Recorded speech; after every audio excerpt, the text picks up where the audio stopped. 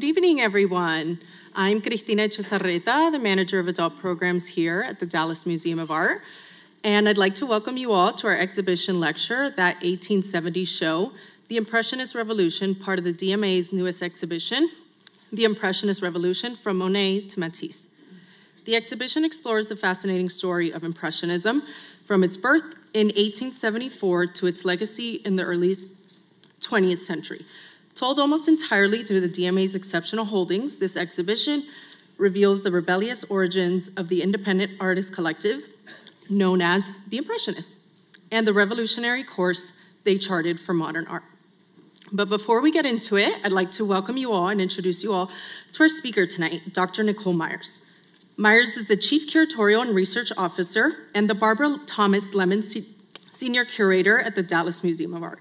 A specialist of French painting, she's published and lectured on wide-ranging topics from realism to symbolism, Poussin to Van Gogh. Myers joined the DMA in 2016 and leads the museum's curatorial, conservation, and library and archives departments. She also oversees the European art collection, which spans painting and sculpture from the classical antiquity through mid-20th century modernism. At the DMA, Myers has curated and co-curated numerous exhibitions, most recently and critically acclaimed, Van Gogh and the Olive Groves, co-organized with the Van Gogh Museum of Amsterdam in 2021-2022, Cubism in Color, The Still Lives of Juan Gris, co-organized with the Baltimore Museum of Art in 2021, and Berthe Morisot, Woman Impressionist, co-organized with the Musée National des Beaux-Arts du Québec, the, the Barnes Foundation, and the Musée d'Orsay in 2018-2019. Before joining the DMA, Myers held curatorial positions in the Nelson Atkins Museum of Art in Kansas City, Missouri, the Metropolitan Museum of Art in, in New York, of course, the Boston Museum of Fine Arts in Boston, and the St. Louis Art Museum. Myers completed her MA and PhD in art history in the Institute of Fine Arts of New York University with a dissertation on Gustave Courbet, realist nudes, and her BA in art history and archaeology and French at the Washington University in St. Louis. Now please join me in welcoming Dr. Nicole Myers.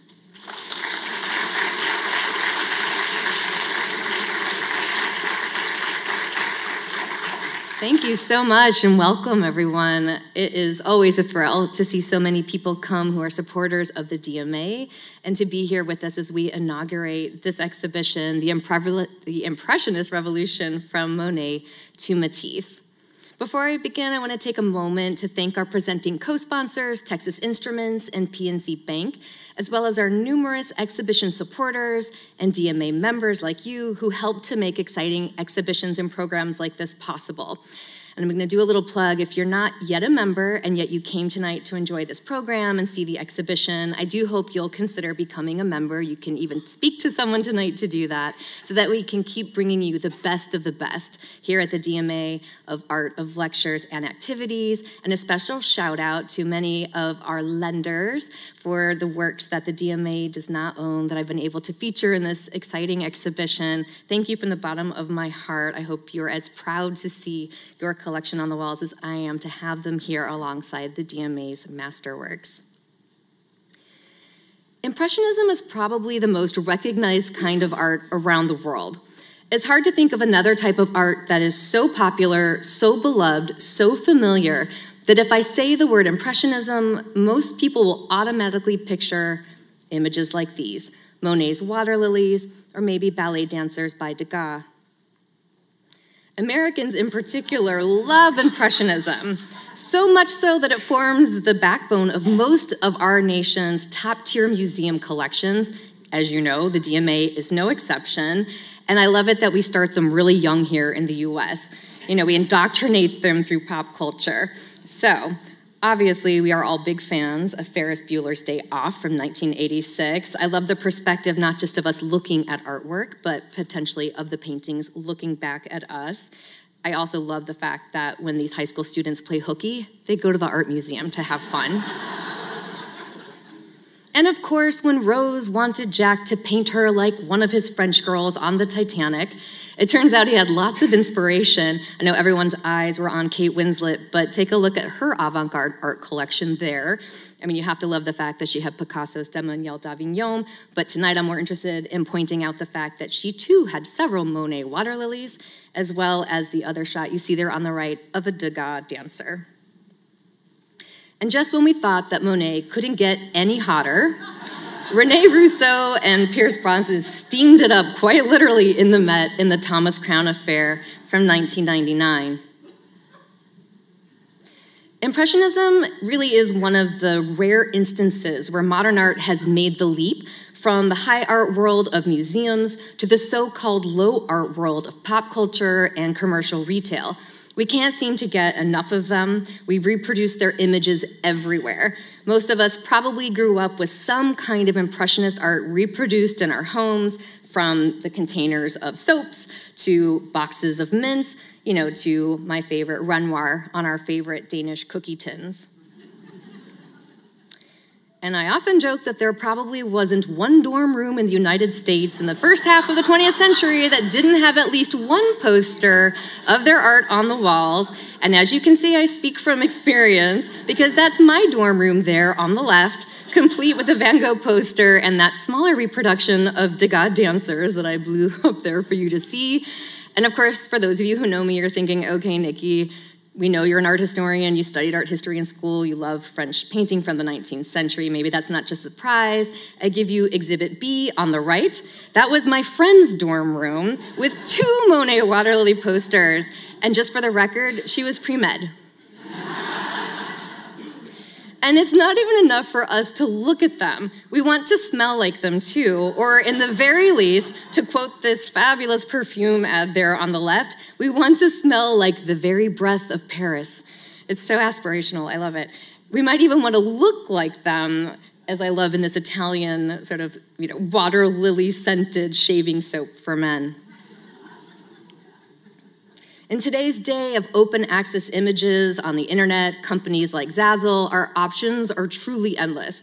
We can go to bed with Caillebotte, we can watch the sunrise with Monet from the comfort of our couch. Seeing paintings like Monet's Impression Sunrise, the painting that coined the term Impressionism when exhibited in the first Impressionist show in 1874, presented here in such a calm and soothing interior in this online shopping ad for art reproductions, it's really quite remarkable. It gives the impression that this kind of artwork was always in high demand, that it was always appreciated for its atmospheric effects, that its softly moody tones were always seen as picturesque and beautiful enough to invite even into the most intimate spaces of our homes. And yet, that actually couldn't be further from the truth.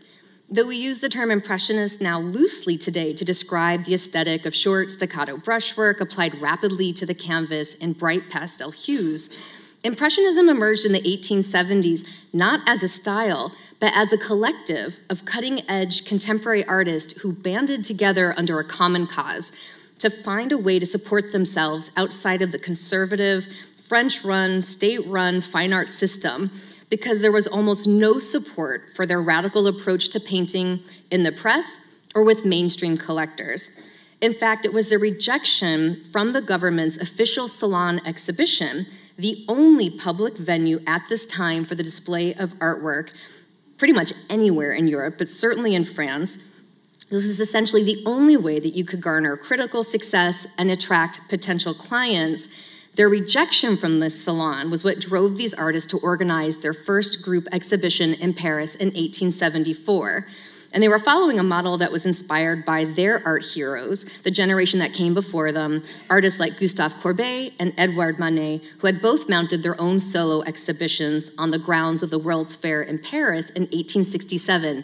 And that was revolutionary. To say that the artwork exhibited by the founding members at that 1874 show, Monet, Cezanne, Renoir, Degas, Sisley, and Morisot, utterly shocked the public is an understatement.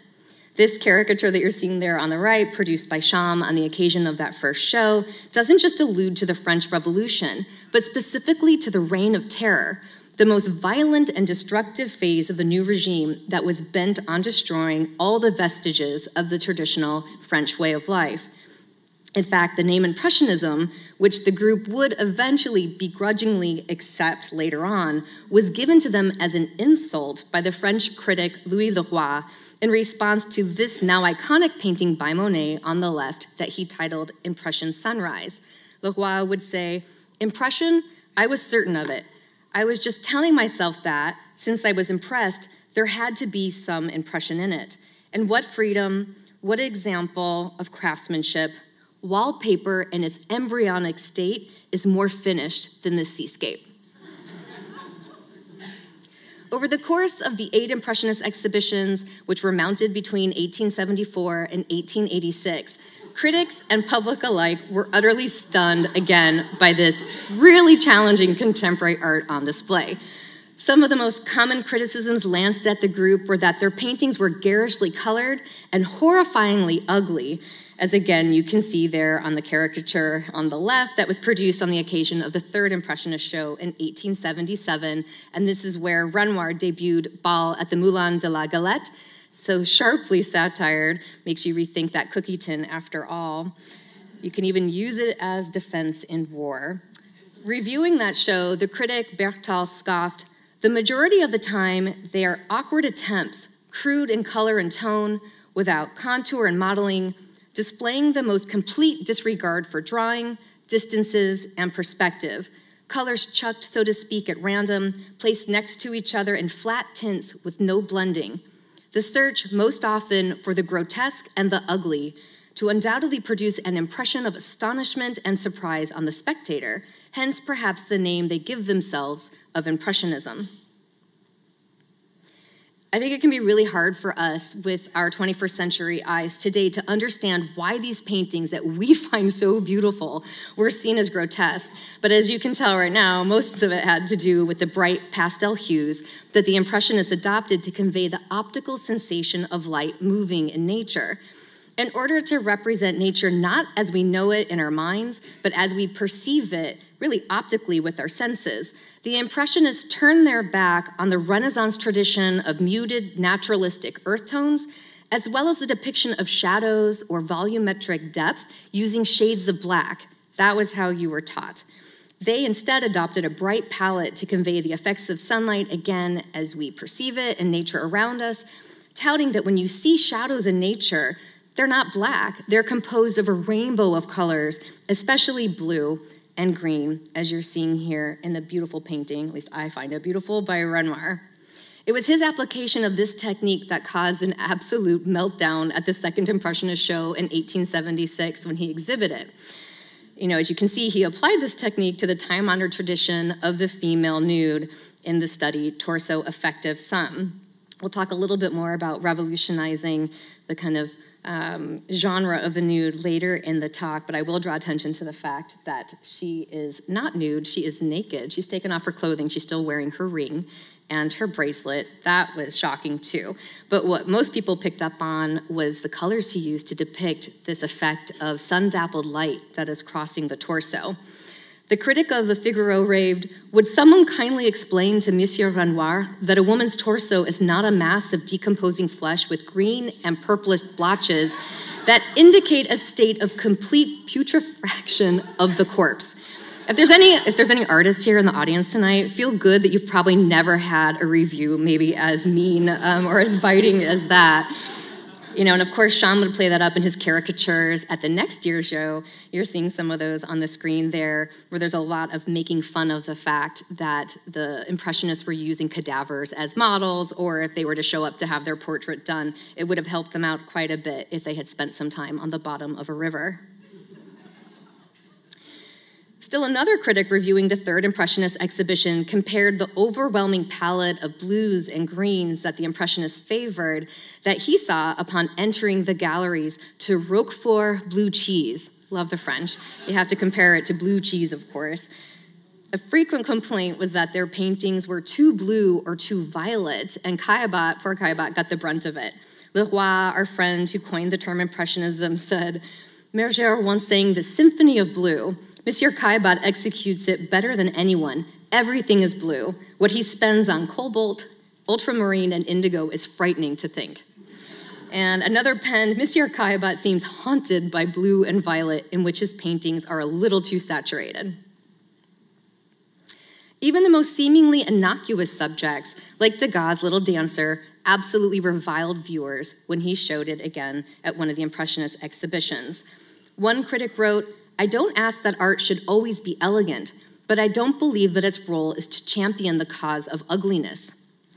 The Little Dancer, which was the only sculpture that Degas exhibited publicly in his lifetime, was described variously as repulsive, vicious, and even a threat to society. The latter has as much to do with the social class of the subject and who these little dancers were performing at the Paris Opera in the 1870s, as much as the unidealized features that Degas gave to his subject. And it's not obvious when you look at this on the screen. Most of the ones that you see around the country are in bronze, made after this original, which he made in wax. The figure was wearing a wig made of real hair and also fabric for the torso and the skirt. So there was real lifelike quality to this figure that really enhanced that sort of grotesqueness that these critics were picking up on. Oh, yeah, and of course, you know, this type of threat to public health. If you're a pregnant woman of the upper middle class, do not enter. Um, it could be very bad for your health. But overall, the most frequent criticism lanced at the Impressionists, whether positive or negative, was that they were incapable of making a finished picture. One writer reviewing the 1877 show where Monet debuted his series of the Gare Saint Lazare paintings, I'm showing you one that was shown there now, it really captured this kind of critical zeitgeist around this time, this idea that the paintings weren't finished. So it's a little bit of a long quote, so bear with me, but I think it's worth in sort of reading to you in the original language. The Impressionists are painters who have the audacity to give us a glimpse a simple impression of things without making the effort to enter into the detailed study of line, of color, nor the thousand other knowing combinations that painters of the past had the good nature to be concerned with. A self respecting impressionist does not put on these airs and graces. He proceeds by the abrupt application of color. He takes his brush and forcefully dabs the canvas. Something shocking results from this process that stuns the viewer and that our imagination is responsible for completing. It's not that there aren't certain qualities in some of the works exhibited by the Impressionists, but they are qualities of a very rudimentary nature. All of them made sketches, not one of them made a painting. To understand this criticism, this fear, uh, even the laughter that they receive, we really do have to step back in time to understand just what was at stake. Why were these artists seen as so revolutionary in how they were painting, what they were showing, just how radical their project really was? Until the Impressionist show in 1874, as I mentioned, the only public venue to show artwork was at the Paris Salon. The Paris Salon was an exhibition, sometimes it was annual, sometimes it was biannual, but it was a subset of the Academy of Fine Arts. This was run by the French government, first the royalty, then later different of the regimes that came into play. But it basically was setting the standard for what was considered to be fine art, high art in France at the time. It established a hierarchy of media, painting at the top, then sculpture, then drawing and other forms um, of work that involved more sketch work. It also imposed a hierarchy of genre, that's the subjects that artists were expected to paint. At the very top of the pyramid were history paintings, so paintings that would take as their subject scenes from the Bible, from mythology, from history. It involved the human figure, so again, at the very, very top of this pyramid is the mastery of being able to reproduce anatomy correctly and to really use your imagination, your mental faculties to take stories from the past, interpret it visually in a way that is powerful for the audience for which it was being made for. Below history painting, you would move into some of the lesser genres. Anything involving the human figure came below history painting, like portraiture. Then you would get landscape, and still life was at the very bottom. So if you were just painting, again, a field or a vase with flowers, that was considered to use less mental um, ability. You, you were seen as maybe not having quite the, the I don't know, the mental faculty again to use your imagination to envision humans doing something that you couldn't see at the time. So it was pretty rigid, it was pretty structured, and there were a lot of expectations about how you learn to make the art. but also how the art was supposed to look. The public display at the salon was never intended to be commercial. It was not a sale in that way. The intent was, in fact, to educate the French public and to elevate their morals so that, again, putting history painting at the top, you're teaching everyone about history, but also celebrating the values that the French society, the French government wanted to instill in their nation. So here I'm showing you a reproduction on the left. The Salon, the Academy of Fine Arts, were established in the 17th century, and they would go all the way to the end of the 19th century. But I'm showing you an engraving here of the Salon of 1785, where the neoclassical painter Jacques-Louis David unveiled his famous Oath of the Horatii. So you're seeing the painting there, of course, on the right. But you can see it captured in this beautiful engraving. If I can actually get my clicker to, there it is up high on the wall, there was always kind of a central court of honor um, where artists who had government commissions or who had won awards would be featured. You can see this is where the term salon hang came from. They were really stacked from bottom to top. So painting on a large scale was something that many artists tried to do to stand out, to be more visible. This is how Critics would see your work, write about them. This is how you would attract clients who would then commission pictures from you. And if you were very lucky, you would get government commissions from this type of display. It was wildly prestigious.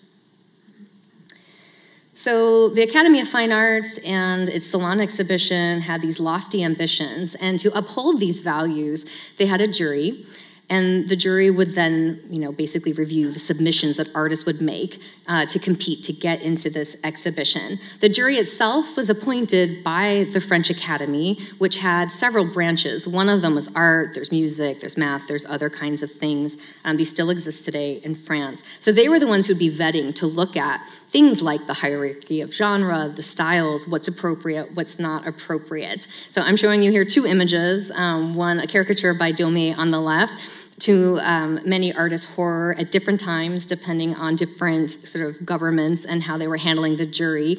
The jury wasn't always composed of artists, or not necessarily 100% of artists. Sometimes there would be astronomers, mathematicians, all the different types of branches represented by the Academy might be on the jury selecting paintings for the show. So you see Daumier having a little bit of fun with how random that jury can be, and that maybe they were not the best arbiters of what was great art at the time. And then you're seeing it's a really large scale painting actually that you can see at the Orsay if you're in Paris at that museum. That's quite impressive. That is a painting from the 19th century, again, that shows the salon jury as they're going around to look at the different submissions I don't really know. I'm going to assume if you raise your umbrella, that means that it's a yay. Um, but there's photographs that go into the early 20th century where they're grouped around holding up their umbrellas, which I kind of love. So, as I mentioned, over the years, the rules changed, as did the composition of the jury. There were a lot of reforms that were made across the 19th century.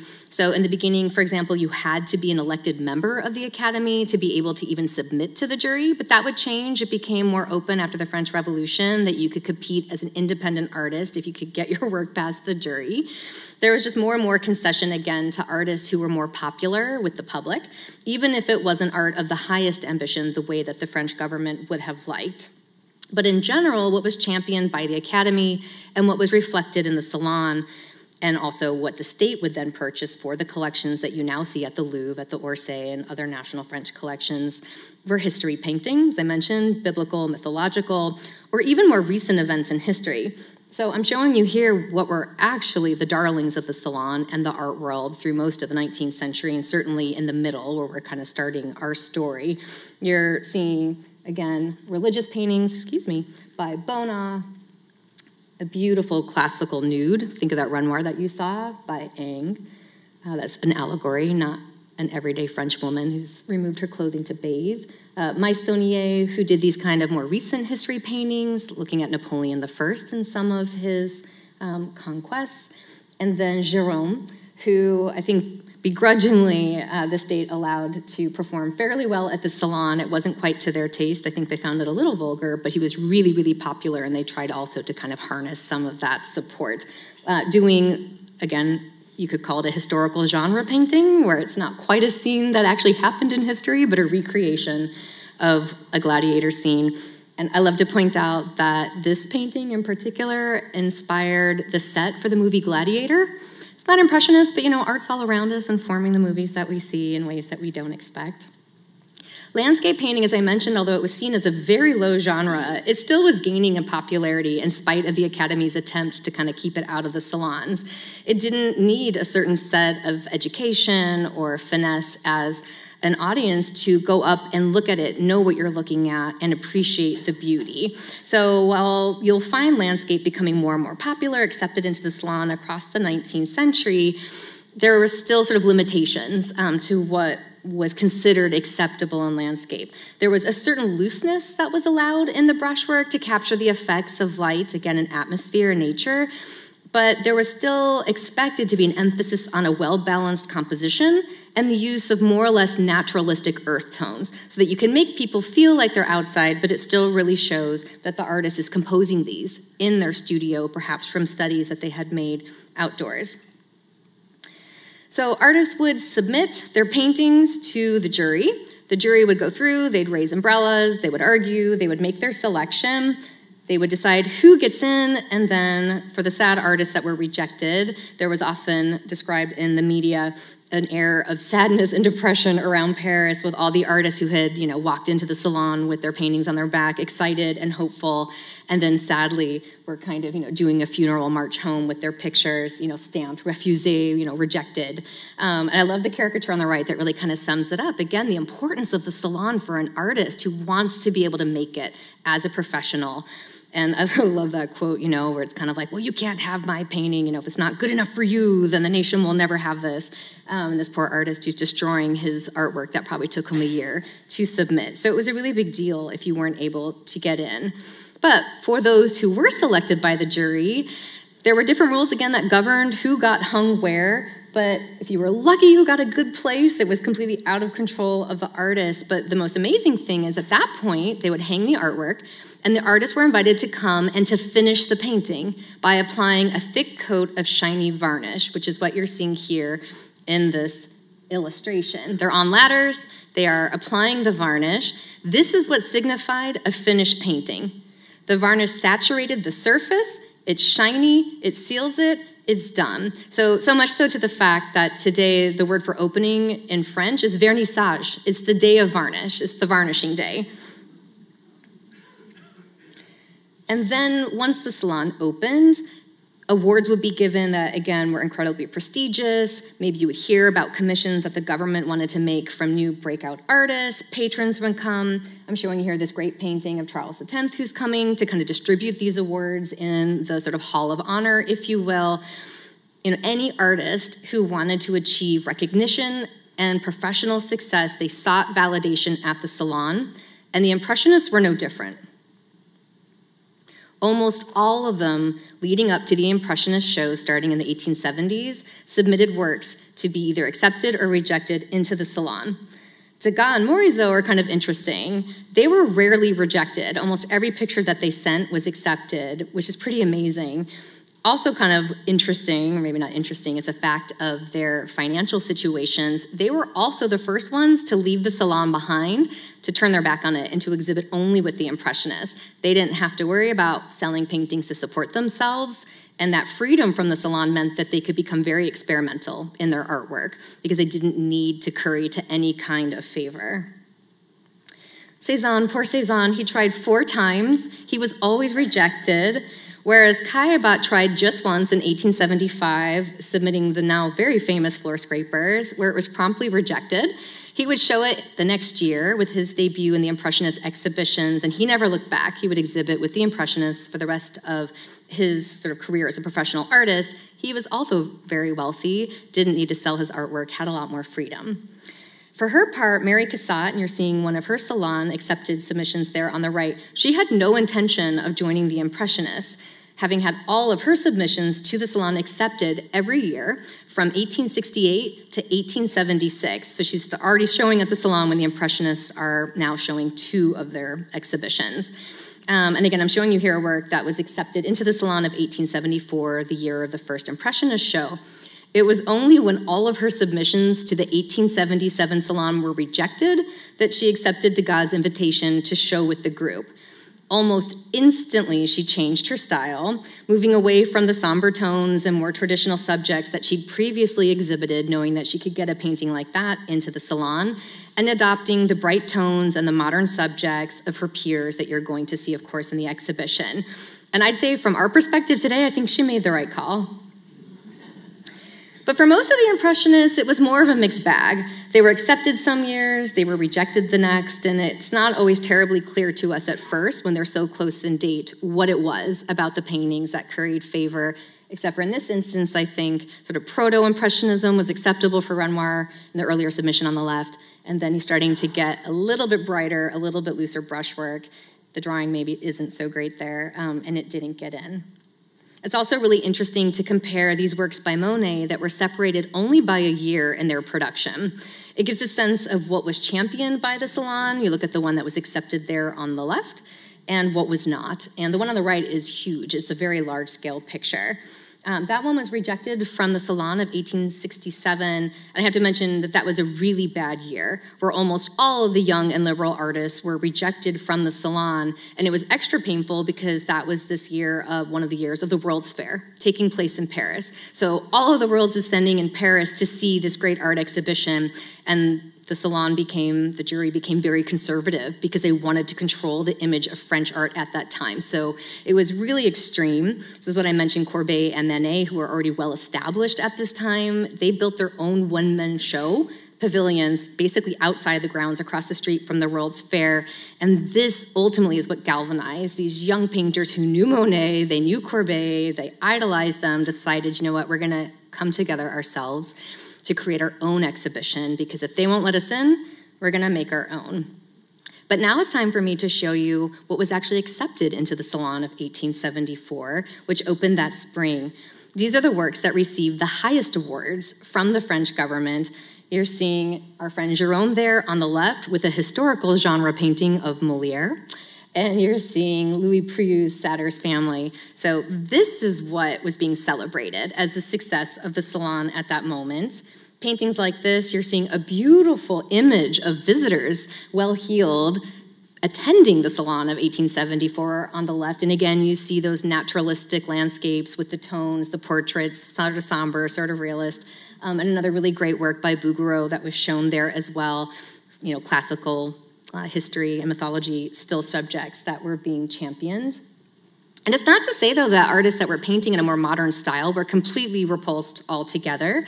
So Manet would show this beautiful painting of the railway that he'd made in 1873. But by 1873, he wasn't seen as the scandalous painter of Olympia anymore. That was almost 10 years earlier. So he'd sort of come into the fold. So it's, it's acceptable. It wasn't terribly well reviewed, but he's able to get in on sort of his history of merit and then you have artists like Fantin Latour, who kind of walked a fine line between the modern painters and their interest in brighter colors and a looser brushwork, but still doing something fairly conventional in terms of the emphasis on composition, how well balanced the painting is, and even the technique itself. And it's worth mentioning, again, that both of these artists were in the artistic social circles of the younger group that are the Impressionists. They're kind of moving back and forth. So now, all that context, all that background, keeping all that in mind, Let's go back to the first show in 1874. And I want you to imagine that you've just gone through the salon and you've just looked at that Gérôme and you're noticing that that has received an award. And now you've walked into the photographer Nadar's studio, which was rented by the Impressionists on the Boulevard des Capucines. And you see this Monet on the left, and you see that other one there on the right maybe now the shock, the stun, the offensiveness, you know, can kind of come into focus for us where we have Lois, you know, again, chiding them for giving nothing but sketch-like impressions. Um, and I love what he says about the Boulevard des Capucines there on the right. He compares all those little marks that we, of course, read naturally as people bustling about on the boulevard as cat lickings. You know, imagine now seeing these bright and airy springtime scenes by Pissarro and Sisley in a rainbow of colors that are anything but earth toned, nor are they slick in application. If anything, you see all the traces of the artist's hand. And I want you to think a little bit too about the varnish. The Impressionists did not varnish their pictures. They wanted that matte, bright surface that gives less contrast, that has that kind of freshness. That was deliberate. When you see varnish today on Impressionist paintings, it was likely added by someone after the fact. We've just treated a bunch of ours to take off old varnishes again so that you can really see that surface the way that the Impressionists intended you to. So there was no vernissage for the Impressionists and paintings like this. Again, tying that into the idea that these are not finished paintings and that they should, these are just sketches that the artist made, and it is a joke to pass this off as fine art to an unsuspecting public as something that is good for them, as something that celebrates the best of French artistic production. Oh, poor Cezanne.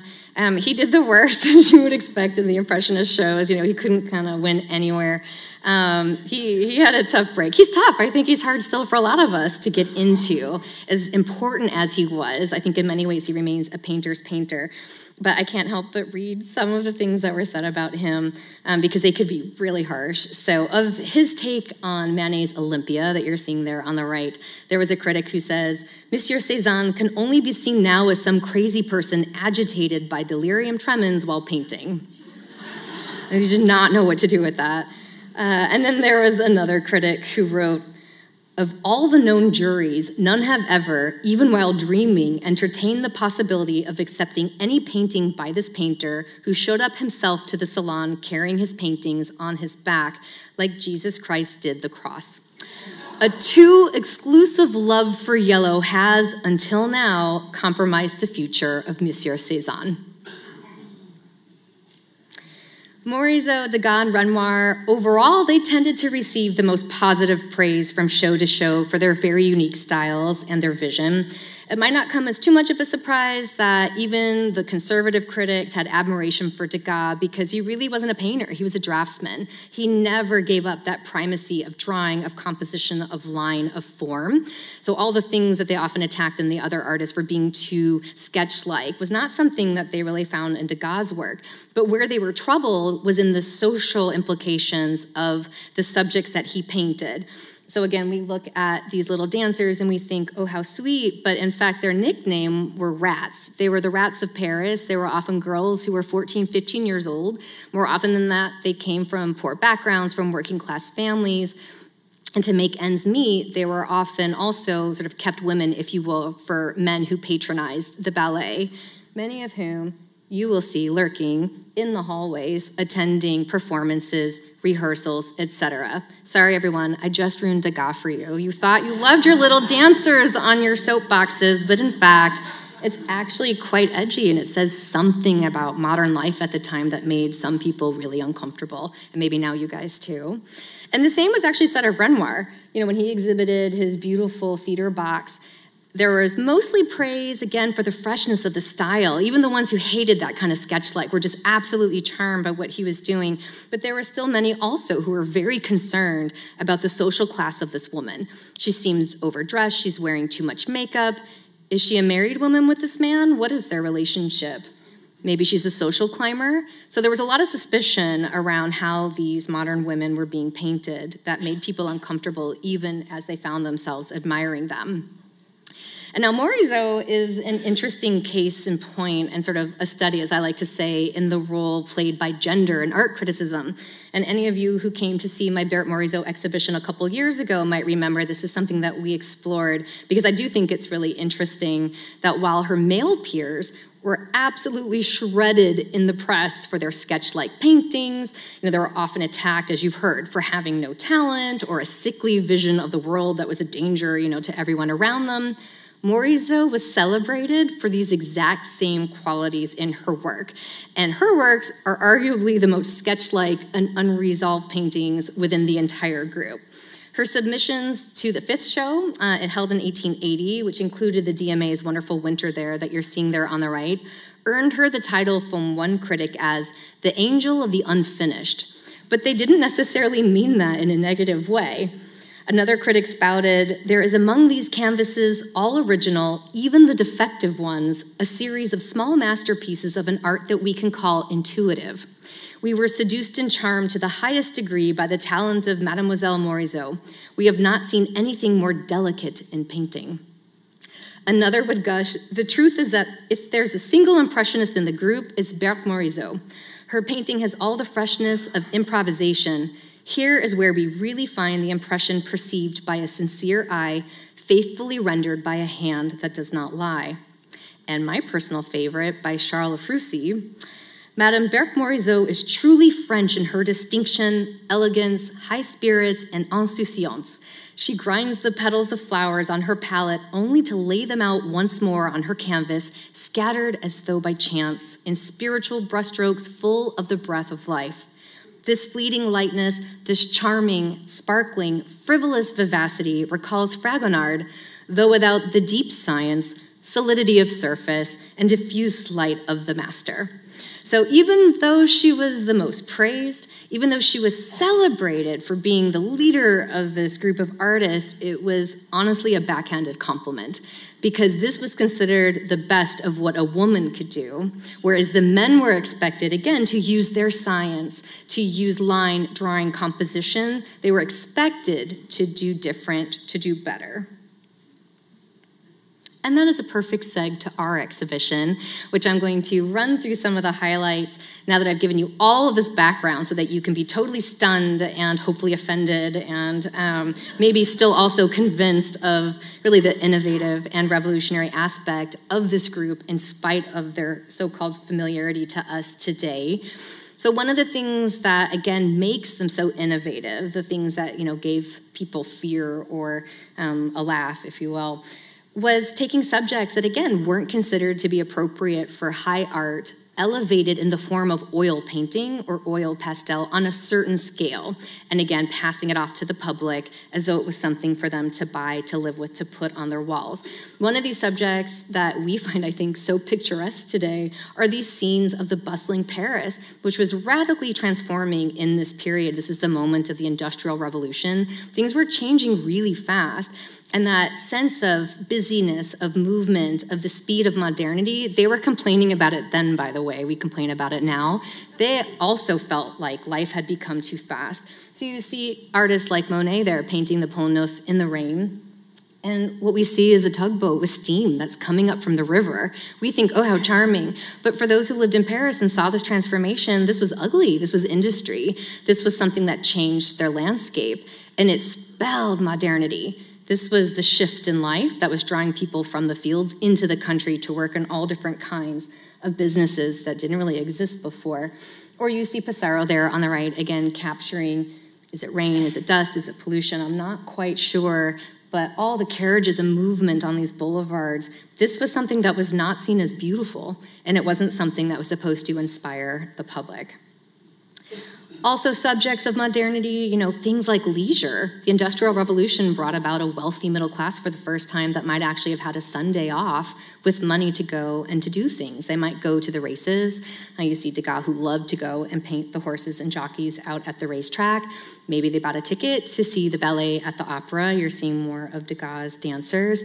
Um, and of course, with that kind of keyhole perspective and that utterly startling way that he crops the composition, where they are basically in conversation with photography, which is coming into its own as a medium in this moment.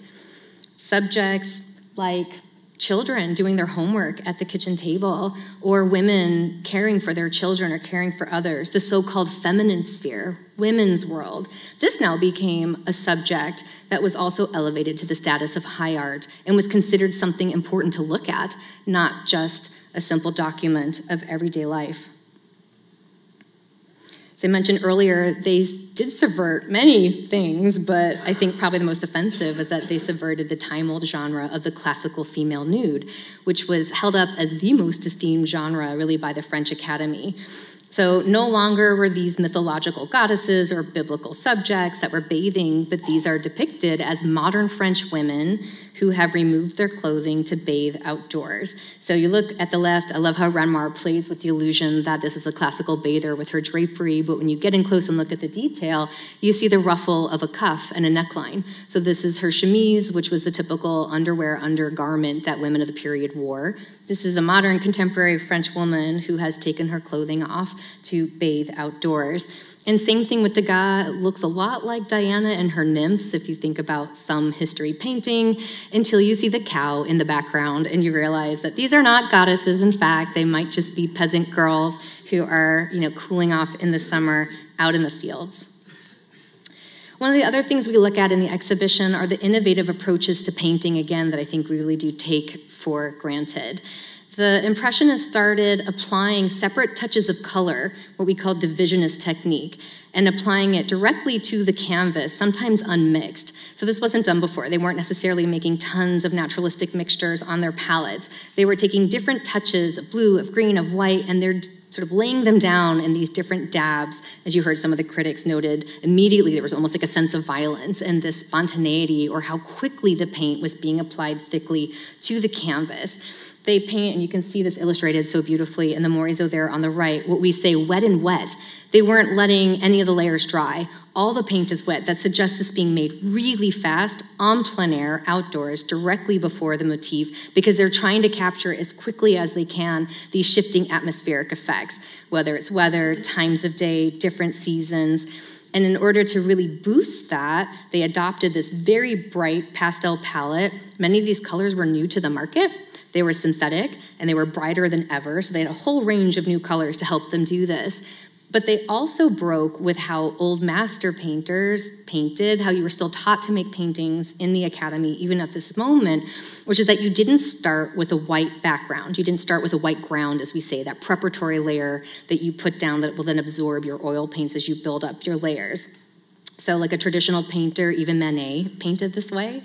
Uh, did as well. They would start with this wash that was called an ébauche, that was a reddish brown, very thin layer that would cover a white ground, and that was the midtone. So, from there, they would either lighten for highlights or sort of go deeper to make shadow depth. That was how you learned to paint. The Impressionists chucked that out the window, and they took those reflective, bright grounds, usually white, sometimes lightly tinted with other colors, and that was the background. All of that to again increase that luminosity, that vibrancy that would help them convey that sensation of being in nature, of experiencing light, not just painting it as we think we know that we see it. So I love that again when you look at the Morisot there on the right, our uh, angel of the unfinished. If you look into the corners, that's all exposed ground, and that was very intentional. It forms a part of the reflections of the water, even the tonality of the sky. So when you go through the exhibition, take a look. Many of the artists, that's what you're seeing is actually that exposed ground, that preparatory layer. And that was really radical. They also took advantage of new technologies. As I mentioned, there were new pigments available, but probably one of the most interesting things uh, that no one really thinks about too much today was that in the mid 19th century, the collapsible metal paint tube was invented. So before this, if you wanted to go outdoors and paint on plein air, as an artist, you had to buy dry pigments. You bought oil as your binder, as your medium. You would mix it. You had to know how to do that. It took some skill. And you would fill pig's bladders into like little containers, and you would take them with you out, you know, into nature. They would very often rupture or you wouldn't mix enough or you would mix too much in which case it would dry out after a couple days and pigments were really expensive. So it wasn't so easy just to go outside and paint a lot outdoors uh, certainly of a certain scale because of that. But once you had the collapsible metal paint tube everything changed because the paint didn't dry out anymore. And then you also didn't have to mix your own colors. All the fabricators started producing in that way in a whole new range of colors. Suddenly anyone could become a sunday painter you know, work five days a week. Paul Gauguin did that. He started as a stockbroker, became a Sunday painter, eventually became, you know, professional artist in the Impressionist circle. So there was this kind of boom, if you will, in all kinds of Sunday painters, and they took advance. They took advantage of advances also in transportation. So this period also saw the expansion of the railway network in France. So suddenly, from Paris, you could go in all directions, not just the local suburbs, as many of the Impressionists did in the beginning, but you could go to the coast, you could go to Nice, you could go to the south. So you'll see that as well in the exhibition, that they're moving around to different places and in this wonderful Renoir, that's one of my favorites in the Reves collection, what you're seeing in the background, again, we think is so picturesque, it's so beautiful, I can feel the breeze on my face. That was a new iron railway bridge that was seen as extraordinarily ugly. This is modernity that is marring nature, celebrated by some and loathed by others. So there's that tension that you often find in these pictures that we find so beautiful, but that suggested other things again to folks at the time. I like to put these two up. You'll see this incredible sketch by Monet on the left that is one of the works that's on loan to us from a local collector that is just absolutely spectacular. In the winter of 1879, Monet, who was living out in one of the suburbs, decided that he wanted to capture what was the after effect of a brutally cold winter that saw the Seine and many of his tributaries absolutely freeze up and then start to unthaw in early 1880. So he grabs a bunch of canvases, he goes out, he paints both directions up and down. They're not tiny, but they're still smaller scaled portable canvases that he's taking with him outdoors to paint these effects. So you're seeing the preparatory sketch by Monet there on the left, painted rapidly again to capture those effects. But what's interesting is at this point, he's been exhibiting with the Impressionists for a couple of years. They're critical failures, they are commercial failures. He's struggling to feed his family and to sell, and he realizes I've got to try to go back to the salon because that's still the premier place to make a career, to support yourself. And so, in order to have a salon worthy painting, you've got to take these studies and you have to work with them in your studio to create a composed, more finished picture in the attempt to try to get it in. So, you see him doing that with that larger version there on the right. So it still looks very sketch-like, but there is a difference, and I hope you can detect that, that that's a moment of Monet taking a study made outdoors into the studio and trying to pass something off. And he was really excited about this picture, but when making a selection of what he would actually submit to the salon of these studies of the ice flows, he realized, in fact, that this one was probably not going to get in.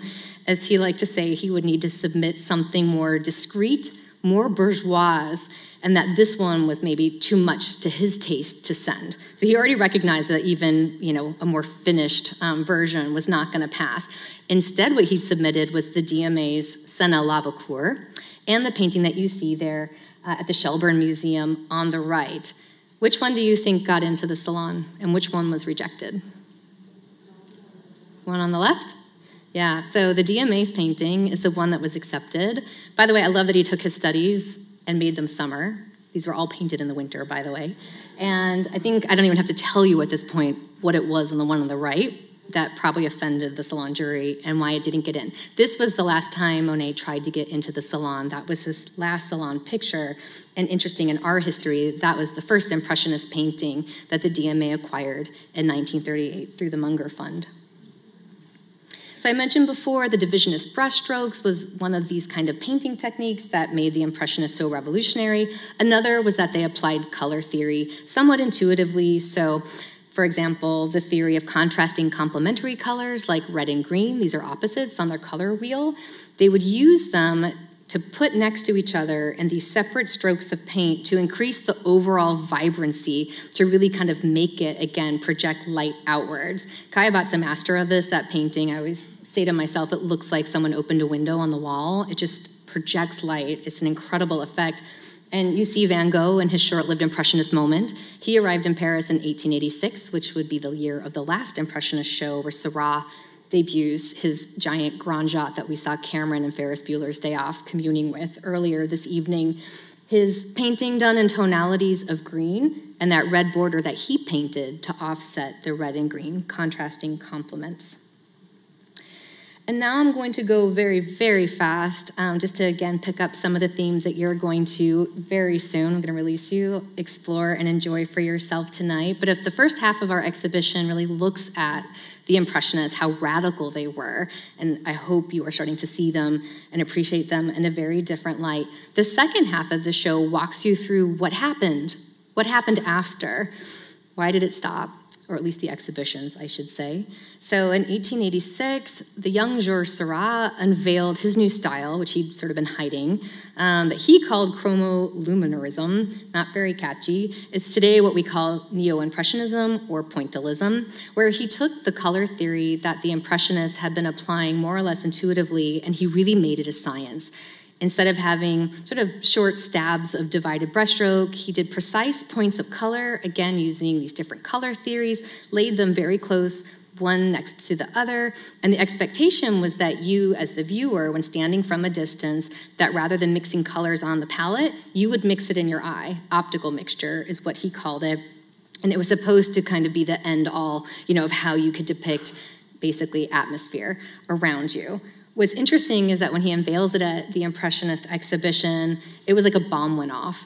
I think for artists, they didn't expect Impressionism to get pushed to that end. And that was as scientific as you could possibly make it. And you're seeing here works by Signac, who was his diehard, dedicated friend, acolyte follower, the only artist that would continue to work in a pointillist way up into the 20th century, and he's sort of a key figure in what happens after.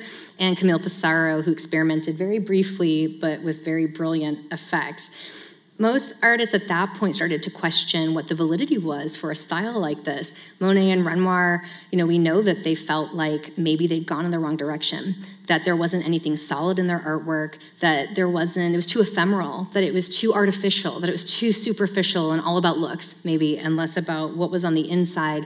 And after this moment, almost all the artists would basically flee from Paris and start spending more and more time elsewhere by themselves to kind of think about what is now the direction of modern art? We took, you know, we took Impressionism to its scientific end, and now what? And that's what you're going to see when you go through the rest of the exhibition, where we have artists like Gauguin, who exhibited with the Impressionists five times starting in 1879. He would go first to Brittany with his friend Emile Bernard, and then even further afield to Tahiti and the Marquesas in search of what he considered to be a more authentic, quote unquote uncivilized, quote unquote primitive way of painting that he associated with what he thought were less civilized societies outside of Paris and eventually France. They're still taking this idea of dividing vibrant color, but now in flat patches and a much more decorative effect that was intended to say something about the subjective experience of the artist rather than just a reflection of how we perceive the world. We have artists like Anquetin, for example, and Toulouse-Lautrec, who are starting to show more of the grittier side of urban life in a modern society in Paris by showing different levels of courtesans working in Paris. And then, of course, there's also Van Gogh, who was close with both Gauguin, Anquetin, and Bernard as they were all discussing and inventing different styles. But Van Gogh is interesting because he always considered himself first a realist, second an impressionist even though we see him neither today.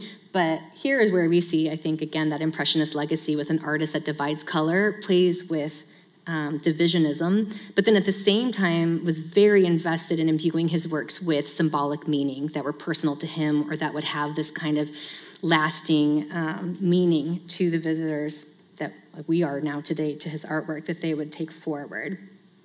And then from there, in the very last gallery, you're going to see just a few of the 20th century modern movements that can trace their roots literally to 40 years earlier with the Impressionists. Um, I like to remind everyone that, you know, in 1900, it's not like all the Impressionists died and then suddenly we have, you know, Mondrian and we have Matisse and we have modernism and that it was just that neat and clean. Monet, Renoir, Cassatt, Degas, so they lived into the 20th century. Many of them lived through World War I. They saw the birth of these movements that started with their innovations 40 years earlier. So, you know, you see Derain there on the left. He and the young Henri Matisse, they went down to southern France. They spent time with Signac. They picked up this idea of divisionism. They created a style that they would then get the kind of slur. They were called the fauves in the press in the early 20th century. But you can see that kind of outlet of what the Impressionists were doing, again, now carried and shifted in a different direction, but still celebrating the same ideas.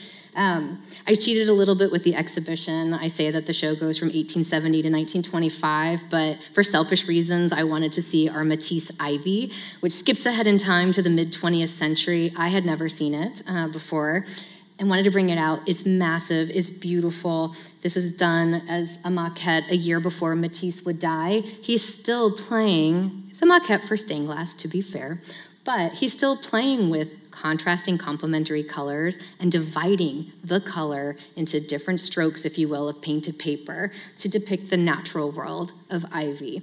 So that's one of the threads we look at. And my last slide now is one of the others with Van Gogh and Gauguin, who sadly had no success in their lifetimes, but not long after both of them died, one in the late 19th century, the other in the opening years of the 20th century. Suddenly, we're being given huge exhibitions in Paris, Amsterdam, Berlin, Dresden, as early as 1905, 06, 07, that would then inspire a whole other generation of artists that would develop abstraction, essentially, and German Expressionism, and I'm showing you some examples of Expressionism there on the screen.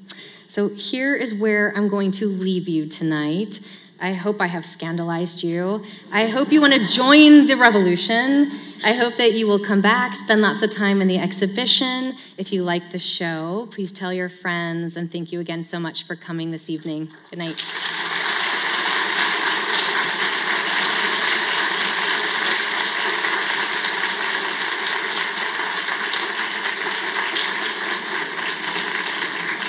And I think I meant to tell you that the exhibition will be extended and open till 8:30 this evening. So if you did not get a chance to go in, go in now. Thank you.